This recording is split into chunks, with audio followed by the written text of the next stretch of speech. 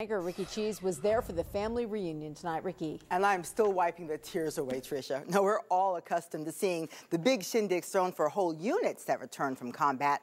But what about the single service men and women who return one at a time? Tammy Morris wanted her husband to have that special welcome home, one that was especially important for her daughter. The class at Bunker Dance Studio was told the media was there to do a story on small businesses succeeding in bad economic times. Five, six, seven. The real story was all good news. We knew he was coming home. He had left Afghanistan, but I didn't expect him to come home until closer to Christmas. Tammy Morse's daughter Riley had no idea she was about to get the surprise of her life.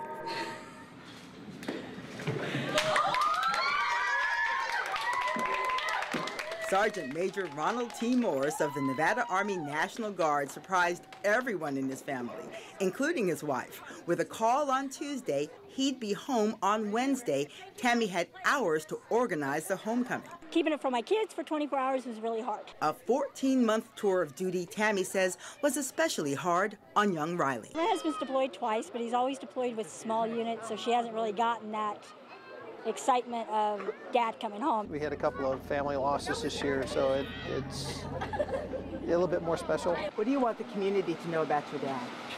He's the best dad.